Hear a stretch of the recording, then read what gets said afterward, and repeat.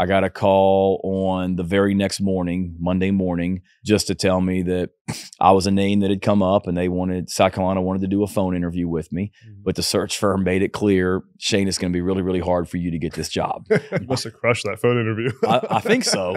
Um, I hope so. What's up, guys? Welcome back to the Next Up podcast. I'm Adam Breneman. Today we are in Columbia, South Carolina, at the University of South Carolina, sitting in the team meeting room, about to talk to South Carolina head football coach Shane Beamer, one of the best young, innovative head coaches in the country. Actually, the first head coach to say yes to coming on this podcast. So, shout out to Coach Beamer. Excited to talk to him about his career, how he got to this point, all things South Carolina football, NIL, transfer portal. Going to talk about it all. Before we get there, please subscribe to this podcast, like, comment, and share the podcast. All your support allows me and my video team to travel around the country and get on great guests. So please hit that subscribe button, support us, help us help you get better content. Let's go talk to Coach Beamer. Next up. How are you? man. Good to see you. How things going? Doing well. Appreciate You? you doing this. I'm Yeah, great. I'm absolutely. great. Thanks for coming out. Yeah, thanks So for having fast. us, Chris. How are you? Jimmy. Chris? Yeah. Nice to meet you, Chris. Nice to meet you. Yeah, what you say, Jim? Steven. Stephen, pleasure. Where's home for you guys? Uh, Pennsylvania. Pennsylvania. They- Yeah, they- Oh, y'all they knew drove each other down growing up or eight- what? Eight hours uh, last night to come down. here. Nice. They What's drove, up, Steve?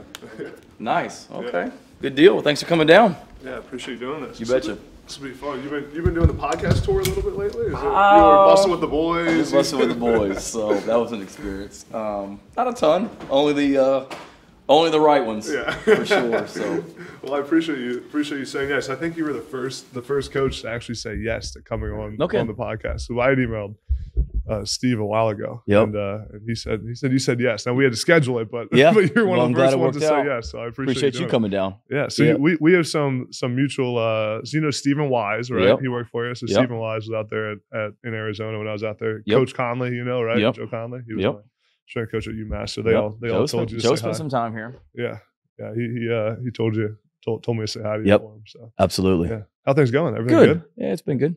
Uh, slow time right now, month Yeah. of May, but it's uh, Players aren't here. You got players aren't here. We got a few here that are on their own, Yeah. uh, just working out on their own and things like that. But they don't come back to Memorial Day. Cool. So a little bit of a slow time right now, doing all the, the booster club circuit and, you and all that stuff right traveling now. around the Yeah. media circuit, right? Exactly. Po- Podcast. Yep. Spoke somewhere every night last week, and I guess I got two this week, and then uh one next week, and then it slows down a little bit. Yeah. Crank up the summer camp circuit in June. Yeah, until until July is the month off then Yep. for coaches. Yeah. Probably not much for you. Still recruiting. Yeah, re- relatively speaking, because the because the recruiting part of it never Yeah. ends. You know. no doubt. No, well, I, there's a, a lot I want to dive into with you, and, and uh, I'm, I'm excited just because there's, you know, year three now at, Mhm. at South Carolina, and Yep. and just your journey to get here Yeah. and, and how it's all went down. First thing is, I'm curious here, what's the biggest difference now in year 3 Mhm. that's that's changed since your first year here when Mhm. you first walked in the doors and you had to reestablish the culture? What what what's changed between now and then? Probably just uh, guys have a better understanding of what we expect and how we want how things are done. Um, you know, year one, it seems like you were coaching up every little thing on and off the field, Yeah. and there's just a better understanding from a leadership standpoint. Players know how we want things done, and they're able to kind of police things and enforce Yeah. things in the locker room a little bit better. And then, and then just on the field, I would say just an understanding of, you know, how we practice and the the competitive spirit that we want to practice with, the physicality we want to practice with. Those are the things that year one, I think you were trying to teach and instill it every single day. Yeah. And and now there's a better understanding of of uh, how we do things here. When, when you when you got here, what's one thing that surprised you the most when you when you arrived here? Uh, the lack of confidence that our players Really? had. Um, uh, you know, and I get it. it they had, it, I guess it had been back to back losing seasons, but Mm. um, that was a surprise. Just coming in and and they had had some ad, dealt with adversity. Obviously, the last couple, the, the previous two seasons, Mhm. two back to back losing seasons, and um, 2020 was when I got hired. That was the COVID year, so it was kind of crazy for everybody but just the lack of confidence you know guys there wasn't a, a sense that they were very good Mhm. and um, to be an SEC football program and a program that was just a couple years away from being in a bowl game and things like that that would that had good players that was surprising Yeah. Was there anything when you when you took this job? Obviously, first time head coach, and you're at a SEC, one of the best programs in the country. Was there anything that you felt like you maybe weren't as prepared for as you thought you should be? And then what was maybe something that you were overly prepared for that that Mm. kind of came easy? Yeah, there was a lot that I probably wasn't prepared for. Even, you know, having been in coaching all my life, I've been around coaching all my life because of my dad, and then being in coaching as long as I had before I got the head coaching job. I probably didn't realize just the amount of stuff that you deal with as a head coach that has just nothing to do with football. Yeah. And, you know, I got hired, and there's so much to do when you get hired. So much. I mean, recruiting, hiring a staff, uh, getting to know all the players, keeping the players here, not Yeah, yeah. transferring, uh, donors, my bosses. There's just so many things, and uh, I thought I had a pretty good handle on it, pretty good plan for the first, you know, first five days, first thirty days, first sixty days, all that. But that just was like just blown up because there's there's just so many things that that uh, come across your desk. Everybody you know needs something and, and everybody has a question and everybody wants five or ten minutes to visit with you about their departments which i which is great i respect but it was just uh, a lot coming at me um a lot coming at me in a in a short period of time and that was probably a little overwhelming and and I remember, uh, you know, coach other coaches that called me and said, "Hey, I know what you're going through. You know, nobody's ever prepared for that first day coaching job. Just hang in there, and and you'll be okay." And then as far as over prepared, um, I don't know if there was anything I was really over prepared. Probably just a handle on how I wanted things done, and it and it probably took a while to to get it there as you were going through as we were going through all the other stuff that I just alluded to. But Yeah. there was a sense of what I wanted this program to look like, what I wanted it to feel like, what I wanted it to be like. Uh, because I had spent, you know, my entire career preparing for that moment. Okay, if I ever do get this opportunity, here's what I want it to be like. The, the, that part of that transition to being being a head coach is what I, I'm so interested to hear more about that. Yeah. Like, how does that?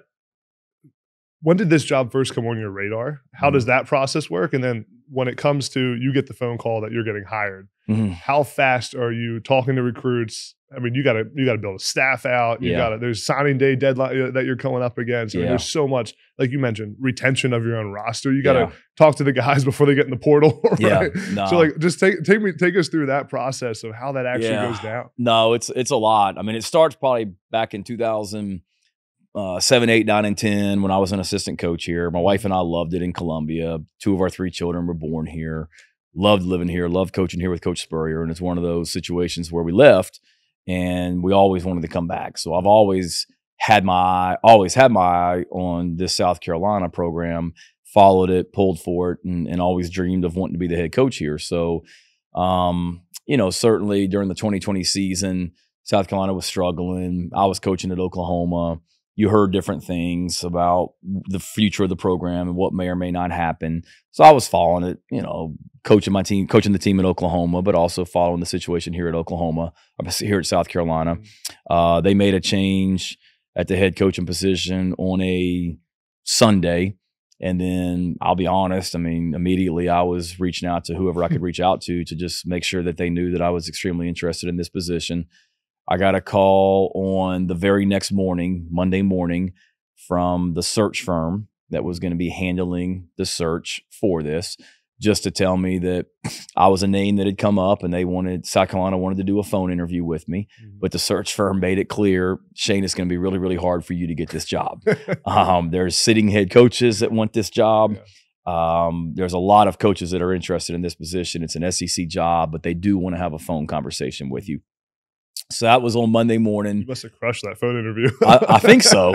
Um, I hope so. Uh, I uh, we actually did the phone interview, I guess, two nights later. So it was uh, Lincoln Riley. I was coaching at Oklahoma. Lincoln was my boss. I went to Lincoln, told him what was going on, making sure he was okay with it. Told him that I wasn't gonna, it wasn't gonna strat, just take away from anything of our preparation at Oklahoma for what we were doing. So I did the phone interview. I think it was like eight o'clock or nine o'clock on a Wednesday night back in Oklahoma which was you know kind of after we had gotten all of our work done for the for the night uh, at OU. Did the phone interview with Ray Tanner and Chance Miller, our to, uh, my two bosses here at Carolina. Uh, you know, I tell the story. I, I was in my office in Norman at the at, Oklahoma. I had all these notes like spread across the desk. Uh, took everything off my desk except just notes that I wanted to talk about. And I honestly, we talked. I don't know, it's probably two hours, and I don't think I ever looked at those notes one time. It was just a very easygoing conversation because in a lot of ways, and I know it sounds cheesy, but in a lot of ways, I've been preparing for this particular job for a long time because I had been here and I wanted to come back. Um, and I remember afterwards getting in the car and calling my wife on the way home and saying to her, you know, I really think I may get this job. Like that interview went really, really, really well. And I had been on interviews before where, you know, sometimes uh, you feel good, sometimes you don't feel good, but this was just was just different. That was a Wednesday. I guess the following Friday, it was the day after Thanksgiving, interviewed in person uh, for the job. Uh, that was a long process. We met in Atlanta at a hotel. That was about a six hour interview, uh, very thorough, but very same thing, very confident and easygoing yeah. because I wasn't talking about a program that I wasn't passionate about. I wasn't talking about a program that I didn't know anything about. I knew about this program. That was a week and a half later, and then and then the hard part was at that point. You know, I keep hearing about from from people here how great I had done, and that I was in the mix. But I think it was another week, a week and a half before they called and offered me the job. But it was it was funny. I had COVID when they called and offered me the job. So I was in quarantine. And it was a Saturday night, and South Carolina was playing Kentucky. I had that game on television in my house, but Oklahoma was also playing. We were playing Baylor, but I couldn't coach the game go. because I had I had tested positive for COVID literally right after I had interviewed for the job here, mm-hmm. and uh, went into quarantine. So the Saturday that I got offered the job, that was my last day in quarantine, and I knew that South Carolina was going to be called, was going to make a decision that night, one way or another and we were watching the Oklahoma Baylor game. We were watching the South Carolina Kentucky game. It's a weird feeling because the team that I'm coaching is playing in a game four miles away and I'm yeah. not there, but I'm also watching this other game on television that I could be the new head coach of by the end of the night. It was just an eerie feeling. And um, phone rang about nine o'clock and it was Ray Tanner, the athletic director here at South Carolina called and and I knew why he was calling and I'm on the edge of my seat because it's you know it sounds it's a big thing. I mean, you see him calling, you realize your life is about to change one way or another. Yeah. And um, he made small talk for four or five minutes about college football that day. and it's like, yeah, I mean, I I saw that game earlier, yeah. and yeah, that was great too, and and all this stuff. And then finally, he said, "Well, are you ready to do this thing?" And I told him, I said, "Coach, I've been waiting for my, I've been waiting for a long time to hear you say that, and didn't take me long to accept." And that was probably, shoot, that was probably nine or ten o'clock um, in in Oklahoma time, and uh, walked out of the room. My f- wife and three children, they were just sitting there waiting for me to come out of the room. I didn't have to say anything. I just kind of shook my head, yes, that we got the job. Uh, obviously, we had this huge family bear hug and was an emotional moment and a lot of fun. Uh, and then at that point, you immediately start thinking, like you said, about all the things you have to get done. Yeah. And you don't know if the news is going to break or not in today's time. There's no secrets. So I didn't tell anybody except my mom and dad. Um, called my parents to let them know. I think we called my in laws to let them know. And then next thing you know, it's breaking on national media, and your phone immediately starts just yeah. blowing up with phone calls and text messages. Uh, Coach Tanner said we want to send a plane tomorrow morning to pick you up and bring you out here to South Carolina tomorrow morning. It's going to be there at eight thirty or nine o'clock. at this point, it's getting to be late. Um, computer. We had to sign the term sheet so they could um, so they could send the plane. Yeah. Uh, computer, I forget, a computer wasn't working or something, so we had to call a neighbor to come over to the house to help us with that, so we could sign the term sheet and get it back in. Um, and I don't think I really called anybody specifically about the job until the next day. You know, the rest of the night was just thinking about what I wanted to say to the team the next day, what I needed to get done in Columbia that day when I got there. Hopped on a plane on Sunday morning and got over here and and then dove headfirst into it. So your press conference was that next day? It was the uh the it was the Monday. Got it. So I got the job Saturday night. Sunday morning, got on got on a plane, uh, flew over here. First thing I did was come straight to the facility. Mm-hmm. And then all I did the rest of the day on Sunday was I met with every coach that was in the program here um, just to kind of tell them where they stood because I've been a part of a transition before where the head coach never met with the existing staff. He sent the athletic director in, and the athletic director said he doesn't want to keep any of you guys except he does want to meet with you, you, and you tomorrow. Mm-hmm. And I just thought that was bull crap. Yeah. Uh, so I was like, you know what? I've been on the other side of it. If I ever get a head coaching job, I'm gonna at least gonna take time to sit down with the coaches and have a conversation with them. And either, hey, I, I'm interested in talking to you. I want you to stay, or I've got some other body, somebody else in mind. If I can help you in any way, let me know. So I did that all day Sunday uh, in my office. I met with the team um, as well. So the very first team meeting, just to introduce myself. That was Sunday, and then the rest of that day was like recruiting calls, and then the next morning or the next day is when that Monday is when we did the press conference on that Monday. It's a whirlwind, man. It Recruit- is. recruiting the day after. They don't give you a lot It's of time, crazy. time to get ready. I, huh? I, I kid, yeah. I mean, I kid. Like, I, I came over here and had a meeting with the team, met with all the coaches. Finally, it's like whatever time at night, and I'm Mhm. driving. I'm a zombie at this point, and I'm I'm driving back to the hotel, and one of the current players on the team, he call he's on the South Carolina team, and he calls to tell me that he's decided to enter the NFL draft. And I'm like, I haven't even met you. Like, can we at least like talk? And and uh, it was Ernest Jones who's playing for the Rams now. Yeah. So congrats. I mean, he's had a great career, but it was just like a whirlwind. you know, like I got players telling me they're going to the NFL draft. I don't know anybody. It's uh, like what, what what's going on? Um, but it, it was certainly a whirlwind, and and then it was crazy because that was Monday, and I guess I stayed through Monday, did the press conference, and it was either Monday night or Tuesday. I flew back to Oklahoma because I wanted. We were getting ready to. Uh, we had one more game, and then I guess we were playing in the uh, Big Twelve championship as well, and I wanted to finish that out with the guys as well. Wow. So it was tough because I'm trying to, you know, balance this job along with Oklahoma, and it was a little bit easier because. Uh, because of COVID, nobody was able to go out on the road recruiting it. because it was a dead period because of Mhm. COVID. So it wasn't like I would have been in in homes recruiting. Mhm. I would do my as much Oklahoma stuff during the day as I could, uh, or that I needed to get that done, and then the rest of the day and the night was Yeah. was was uh, you know, I mean, I can remember sitting in my office in Norman, Oklahoma, and talking to potential coaches, talking to recruits, uh, just a, a lot of stuff going on for sure. During that six-hour interview in Yeah. the in the hotel room in Atlanta, you said Mhm, it was. Atlanta, yeah. What what? Uh, first of all, what? Why was it in Atlanta? And then also, what what goes on in the six-hour hotel room interview? Yeah. They just are you? Is it are you whiteboard talking? Is it philosophy? Is it No, uh, great question. I guess it was in Atlanta because that was a central meeting point. You know how it is with a lot of these searches. Everybody tries to track Secretive. planes and, and and all this stuff. And there was all these. There were some rumors that had come out.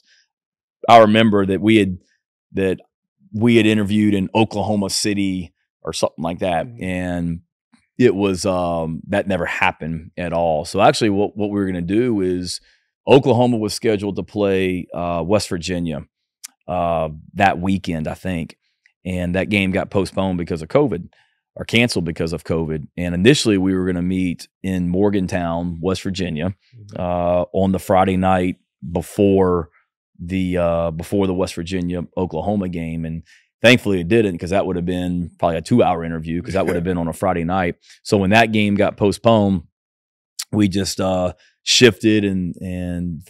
I didn't really neg- talk about where we were going. They just They said, just "Can you told you can you be in. Atlanta um, Yeah. on the Friday after Thanksgiving at whatever time?" So flew into Atlanta and we checked into a hotel and just sat in a hotel suite, you know, for six hours. It was myself and Ray Tanner, our athletic director, and Chance Miller, who's our deputy athletic director. The three of us.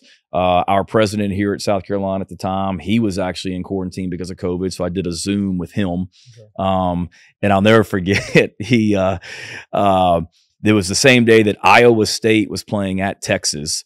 The day after Thanksgiving, and it was a great game mm. and I'm doing my interview with the president, who's awesome. He's a football guy, and he's sitting there watching the end of the Iowa State Texas game while he's interviewing me.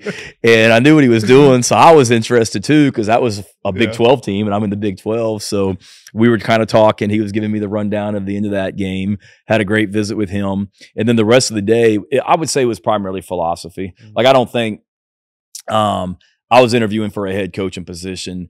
I don't know if they were as interested in whether I could Yeah. talk about our run game versus a three four defense or whatever, you know, Yeah. or or talk about how you're going to play cover 3 or Mhm. something like that. It was more them wanting to see can you be the CEO, can you be the face of the program, um, coaching staff, guys that you have in mind, who you would want to hire. What does your offense look like? What does your defense look like? Special teams, recruiting philosophy. I mean, you name it, everything from a philo- Yeah. philosophical standpoint. That's what we did. And it was uh, it flew by. I mean, it really did. It was it was six hours, and I never got up one time. I mean, I kid Coach Tanner, or my boss, that he never gave me a bathroom break. He Yeah. never fed It's me. a long time. I mean, I literally just sat down and I felt like I got interrogated, but it was great. It was a very easy conversation. Yeah. But I think I had two bottles of water, never got up once, and, and we just sat in there and, and, and did the interview. But same thing, when I walked out of that, I felt, you know, really, really good about it. That and I had known Coach Tanner, our athletic director, he was the baseball coach here at South Carolina when I was an assistant football coach. He won two national championships as the baseball coach. He's fantastic because he's a sports guy. He gets it. Um, and, and and Chance is fantastic as well. So it was a very, uh, very easygoing conversation, but felt confident about what I was talking about.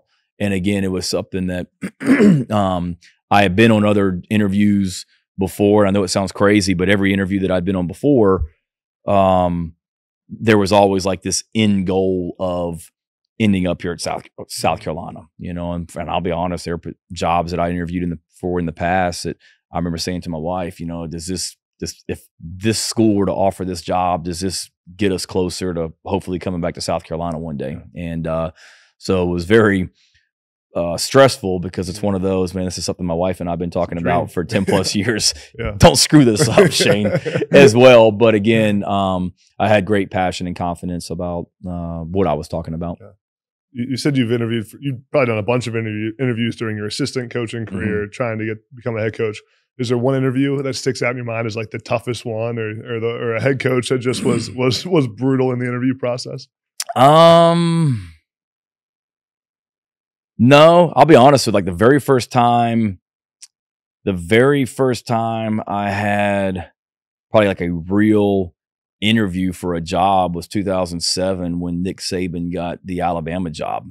And um, he interviewed me for a position on his staff. I guess it would have been tight ends and tight ends and special teams. And you know, at that point, I really hadn't been on an interview. Um, I was a graduate assistant at Tennessee. Uh, Sylvester Croom got the Mississippi State job. Uh, I got hired at Mississippi State as an assistant coach on the field, and that really wasn't. Uh, I think Coach Croom liked me, wanted to hire Yeah, me he knew you he Yeah. knew me. Uh, the person that had recommended me was Coach Croom's offensive coordinator, Woody McCorvey. He's at Clemson now. Uh, so I had enough people in my corner. And then the defensive coordinator was Ellis Johnson. And Ellis Johnson, I had known him. He had played for my dad at the Citadel back in the 70s. so there was a lot of natural ties. So it wasn't so much an interview as it was just making sure this is the right fit for everybody. So the first real, real, real interview I ever went on was Nick Saban gets hired at Alabama as the head coach, and I'm one of the first guys that he interviews for a job. Uh, so if you can you can handle your first interview being with Coach Saban, um, um, I think you can handle anything. And it wasn't so much uh, intense as it was. I mean, this is a big deal. This is Nick Saban coming Yeah. back to the SEC, being the head coach at Alabama. Um, and one of the initial interviews is is me. Now I didn't get it. He didn't offer me the job, and I went back to Mississippi State. And and uh, actually, I t- take it back. We went back to Mississippi State, and then got offered the South Carolina job about a month later uh, as well. So it's funny how things you know work out for sure. But yeah, that was that was one that you look back on. You're like, okay, you interview with Nick Saban, your first real interview. uh, you can handle anything. no doubt. How during your your career as an assistant, you know, you hear a lot of coaches say like, "I was preparing for this moment," Yeah. and, and you you said it a couple of times, and it sounds cliche, but I'm curious to hear like how actually were you preparing? Were you compiling your Mhm. coach's manual when you were doing that? Were you Mhm. taking things from different coaches, taking things from your dad? Yeah. Well, what were you doing to prepare for this? Yeah, absolutely. I um uh probably when I was not probably I know it was when I was here at South Carolina before as an assistant coach. I just kind of started keeping like a, a binder of notes and um uh Kim Fields, who's our assistant director of operations here at Carolina right now, she was at South Carolina when I was an assistant coach and she actually helped me, you know, put it together Wow. and it's just a at the time it was just a black binder of just tabs and it was Mhm. everything that you could think of that you would have to uh, deal with as a head coach um, the training room team travel uh, bowl games uh, ideas for practice um, motivation dealing with a losing streak turning over turning a program around i mean you name it i had it um, i had a section and it was really just if i ever if I read something in a book or it was something that we had done in another program, I just wrote it down, Yeah. you know, as ideas to kind of refer back to, and uh, as far as ideas and things like that to refer back to. Um, as I go th- went through my career, and I used a lot of it as an assistant coach, just like motivation things and, and stuff like that. But um, that was probably the biggest thing, just kind of compiling that. And then as it, as I got older and things became more and more serious with jobs, it was like, okay, Shane, you need more than just a a notebook of just ideas. Like we really need to kind of put together like your philosophy of what you would want, um, what you would want your program to to to be about uh, from a practice schedule standpoint. And and I would say at that it was really narrowing down on that, but then al- also being around a lot of coaches that I just took things from. I mean, I've taken from every coach that I've been around, but most recently, before I got the South Carolina job, was with Lincoln Riley, who first time head coach.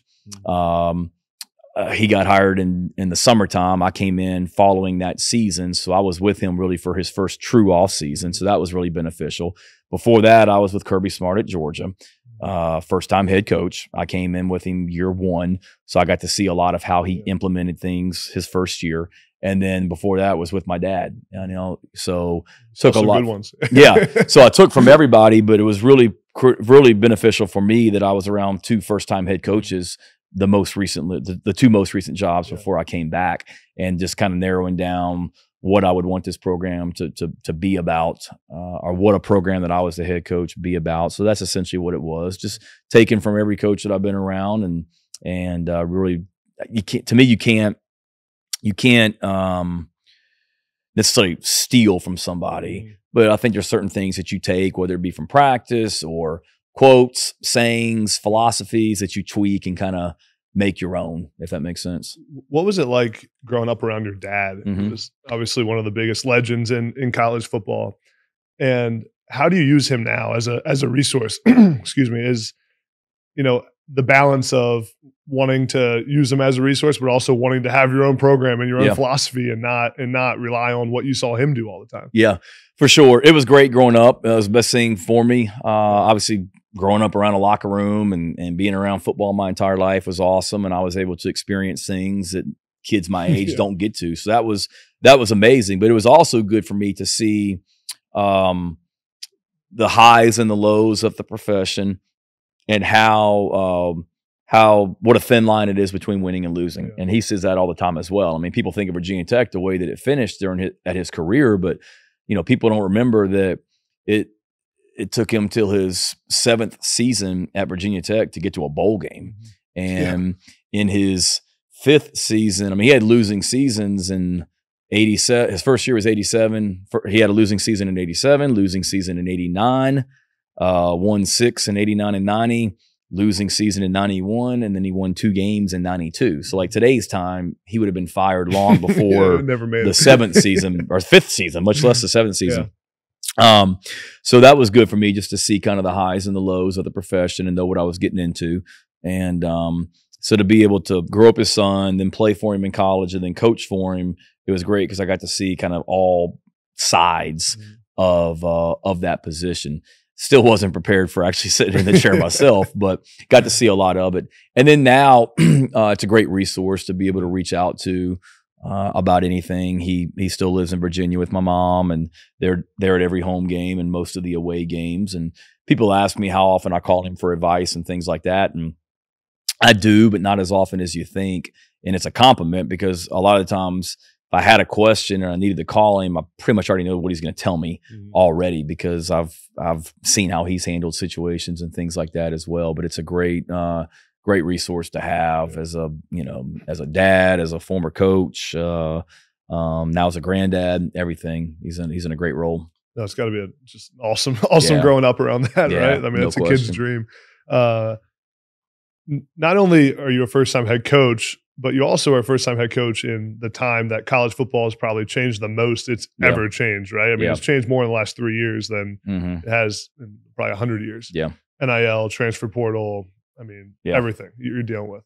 How has that played into navigating your first time experience? And uh, the maybe the benefit is everyone's figuring out, figuring it out together while while you're a, a first time head coach. Yeah, no, I think that's it because we're all experiencing it for the first time, and um, uh, there's no. That's one thing I can't like call my dad about because he didn't. He didn't hasn't experienced this NIL and transfer portal the way it is right now, and there's no.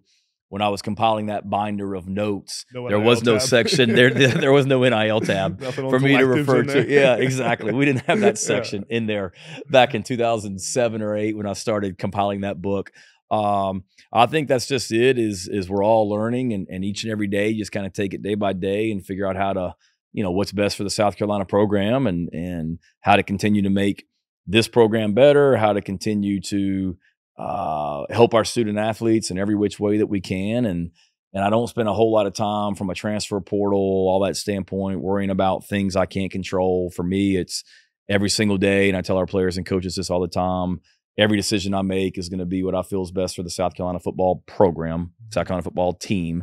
And uh, to me, every single day, it's just making the decisions that uh, are best for this program, trying to make this program the very best that it possibly can be. And then, you know, uh, everything else kind of takes care of itself. How how has the portal adjusted your strategy though, from a head coaching standpoint? Number one, staff, so Mhm. that your recruiting department, um, scholarship allotment. Yeah. How how has it changed that? it's changed it a lot. Uh, you got to be more flexible from a number standpoint. Uh, staff wise, certainly before it was watching nothing but high school guys. Now that you now you've certainly got to be aware and evaluate guys when they go in the portal, and it's tough too because you know this from being a student athlete. If you're getting recruited in high school, when Penn State was recruiting you, they recruited you, I'm sure, for three, four years, Yeah. all throughout high school. Well, guys that go in the portal, you may have 48 hours Yeah. to decide if you want to offer them a scholarship and bring them into your program or not. And it's tough. Um, no, you guy goes in the portal, you're reaching out to his high school coach, his coaches at the college he's coming from. You're trying to find out as much about a person as you can. Uh, and and whether he you want whether he's the kind of person you want in your program, but it's tough because you may just be trying to fight to get him on a visit because there's 10 other schools doing the same thing and and that's tough. So you got to be really really thorough and you got to have a great department to help with that and a lot of people reaching out to people. So that goes back to you know the coaches that you hire and the relationships mm-hmm. they have with people and areas that you want to be recruiting where are those ties?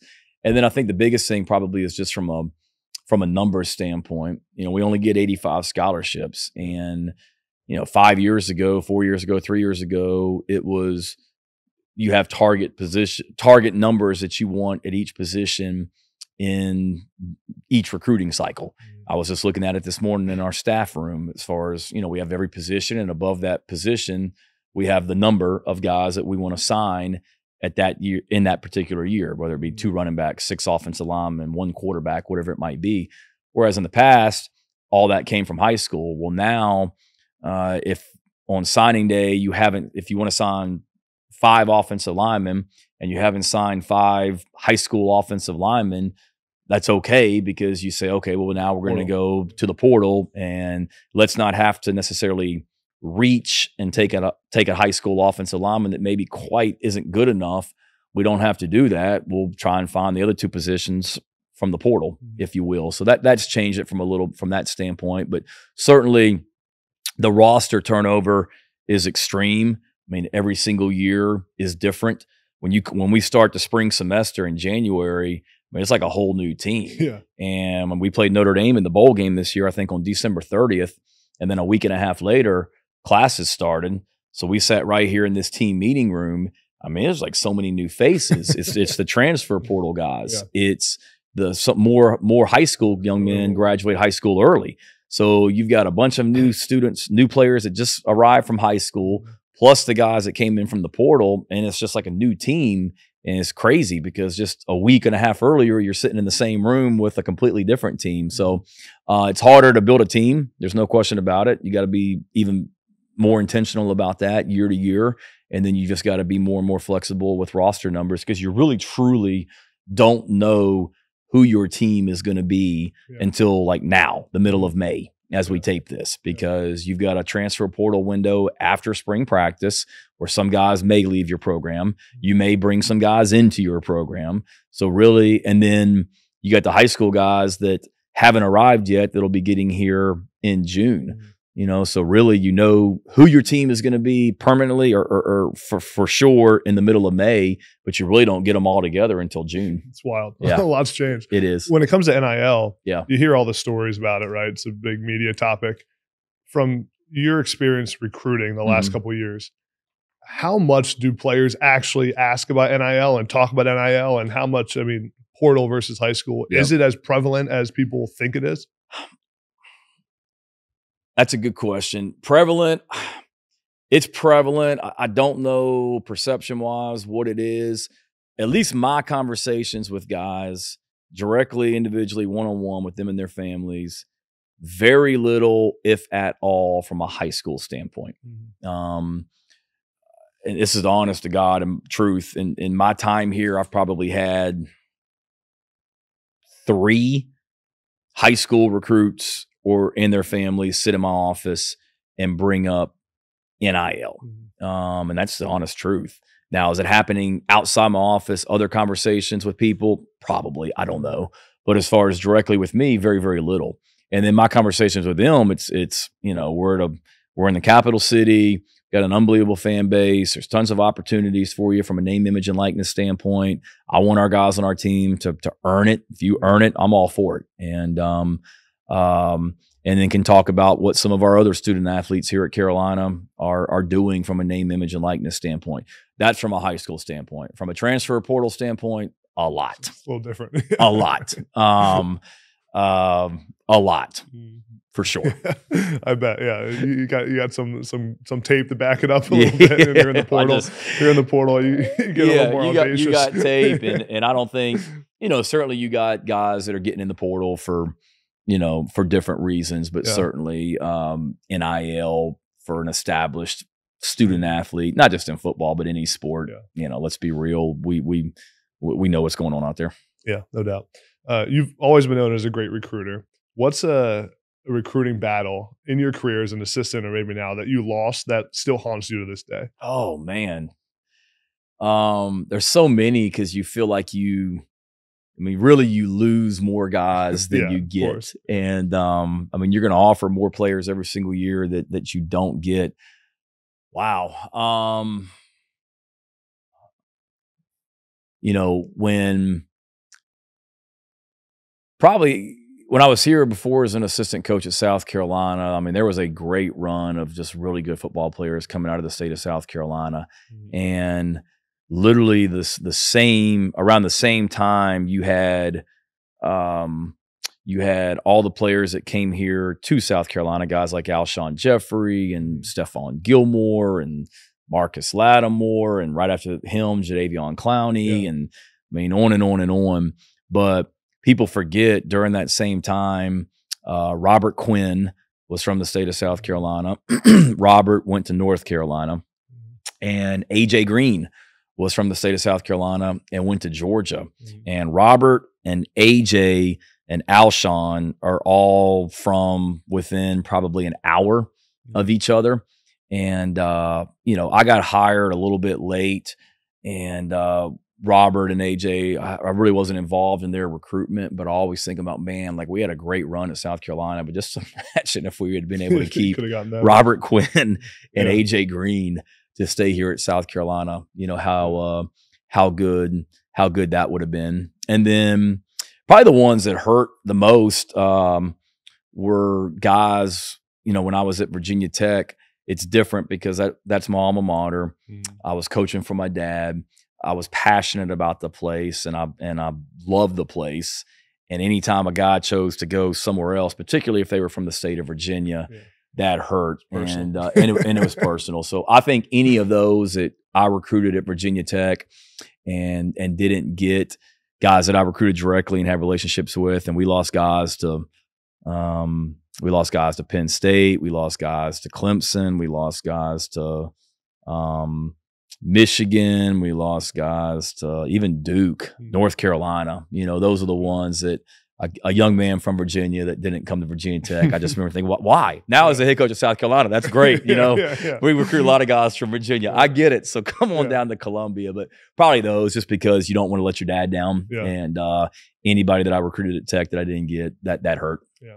I've I listened to a few of your other interviews you've done, and and you mentioned the word love a Mhm. lot, which is sometimes somewhat rare for a college football head Yeah. coach to talk about love as much as you do. Mhm. Where does that come from? Like, how, how did that get ingrained as part of your philosophy, and what does that really mean to you? Yeah, to me, it's um, it's not always just a hunky dory walking around and and hugging everybody up and, and saying we love you. It's um, yeah, I mean, I, we truly it, love is being honest. Love is Mhm. telling you the truth, and and sometimes it may not be what you want to hear, but it's what you need to hear, and uh, it, it it is something that we're very um passionate about here at Carolina. And it just kind of goes back to when I was thinking about what I wanted this program to be about. Uh, you know, we have core values, and those are all things that that, that I came up with, and Mhm. and love was, you know, right there at the top.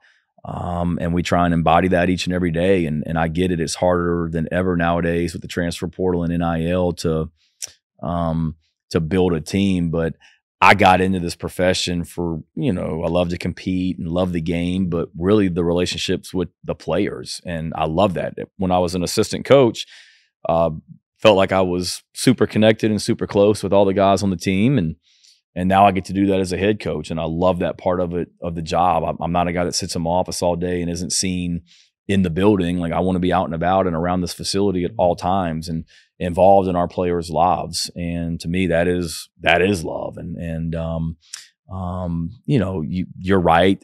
You don't hear a lot in in football, Mhm. particularly, but you know, we use we say the word love around here a lot, and guys say I love you uh, a lot. And I've told this story before. I mean, one of the coolest moments we had in 2021, my first season, was we got the crap kicked out of us by Texas A&M, and and uh, out in College Station on a Saturday night, and game ends. You talk to the team in the locker room. You got to go do the post game press conference. Then you go do the post game radio show with your radio network. Then we do a weekly TV show that I got to tape.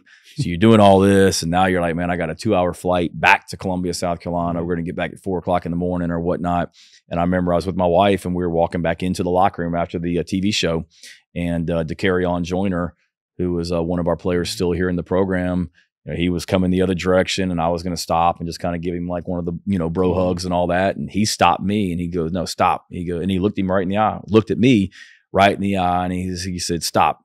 I love you, and we're going to get this thing right." And for him to say that in that moment, like I'll never forget that. And that was one of the coolest moments in a moment of adversity that we faced in 2021. And and he was right. Uh, I mean, we we flew back to flew back to uh, Columbia. We had an off week the next week, and then the very next game we beat Florida uh, here in Columbia by three touchdowns and a when we were like three touchdown underdogs, Mhm. I think. And um, um, it was at that moment I remember thinking to myself, okay, you know, we got the right kind of guys in this program, and and they're uh, they're they're they're they believe in what we're doing here, and we're going to be okay. I want to ask you about Spencer Rattler, and and he's really hit a new level in his career since he's been here. What have you seen from him? What's maybe uh, that's gone into him making those strides and Yeah. and you know getting to the point where he is now? Yeah.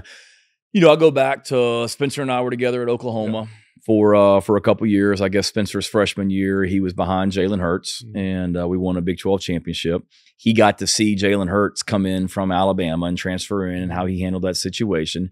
And then people forget that early in Spencer's career as the starting quarterback at Oklahoma, he dealt with some adversity. Like Yeah. he started out, we started out 0 and 2 in the Big 12 Mhm. in 2020 with Spencer as our starting quarterback. And that doesn't happen at Oklahoma. You're not Yeah. supposed to lose a conference game, much less back to back to start the year. And we lost to uh, Kansas State at home, and then we lost to Iowa State on the road. Yeah. And then we play Texas in Dallas, and Coach Riley takes him out of the game in the first half because he wasn't playing well. Mhm. He puts him back in in the second half. We beat Texas, I think, in four overtimes. Don't lose a game the rest of the year. Win the Big Twelve. Uh, Florida or uh, beat Florida in the Cotton Bowl.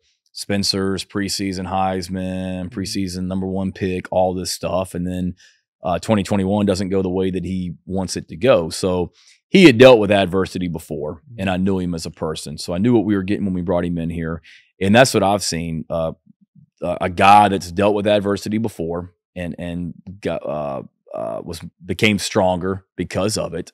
A guy that is a uh, really good teammate um, and a super talented guy. That's a great person. First and foremost, comes from a great family. And I think the biggest thing I've seen with him that's grown is just his comfort level here, his confidence in what we're doing, confidence in himself has continued to grow, and um, and then just leadership. You know, I really feel like last year at this time he hadn't played a game at South Carolina, and he was Yeah. still learning what was going on and learning his teammates. And now I think he's very uh, he, he's very comfortable. He's very confident.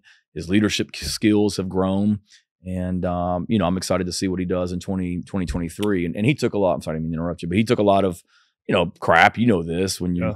when you don't play well, the head coach, the offensive coordinator, and the quarterback get the brunt of the criticism. and he'll be the first to tell you he didn't play great at all times last year, but but he also when people talked about Spencer Rattler struggling, well, he was struggling while he was technical while he was struggling while he was leading us to South Carolina's first win ever over Texas A&M, South mm-hmm. Carolina's first win over Kentucky uh, up in Lexington in like 10 years. So we accomplished a lot before all of a sudden he really started playing great there at the end of the season. Yeah, uh, that's what I was going to ask you. Is I, I feel like with Spencer, for whatever reason, there was somewhat of a negative connotation around him as a quarterback when he left Oklahoma. Mhm. But I, do you feel like that's shifted a lot? And is that? in, it sounds like you've seen very different from that, from from what people were saying about him when when he. When he yeah, OU. I think um, I think some people maybe came up with a negative connotation because of the uh, whatever show he did on Netflix or whatever it was when he was in high school, which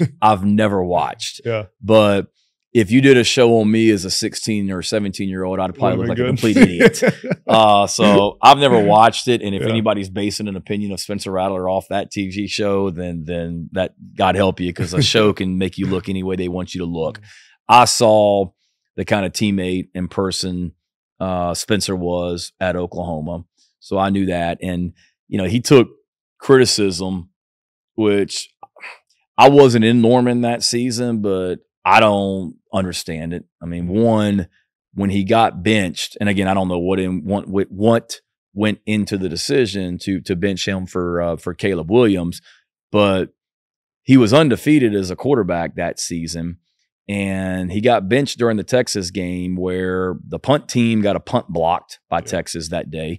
The defense at Oklahoma couldn't stop anybody that day. I've I've watched a replay of the game, and he didn't play great, and I get it. Lincoln put him in the game to kind of give the team a spark, and Caleb Mhm. played great, and they stayed with it, and and the rest is history with Yeah. Caleb and whatnot. But it wasn't like Spencer had gone out there that day against Texas and they had a bad team going into the game. They were undefeated and ranked in the top five, Yeah. and the team didn't play that great that day. But when you're the quarterback, sometimes the head coach feels like he's got to make a change, and and he did. But I only watched um, I only watched a little bit of uh, Oklahoma on television after that day, but I don't think he necessarily became a bad teammate after he lost his job. From what I saw, he continued to be Yeah. supportive of Caleb and and uh, and handle things uh, with class. And I talked to people at Oklahoma before we brought him out here about that were in the program about Spencer and um and no one had a negative thing to say. It was all positive about the way he handled things. And and I know he still hears from people at Oklahoma, and I still hear from people at Oklahoma that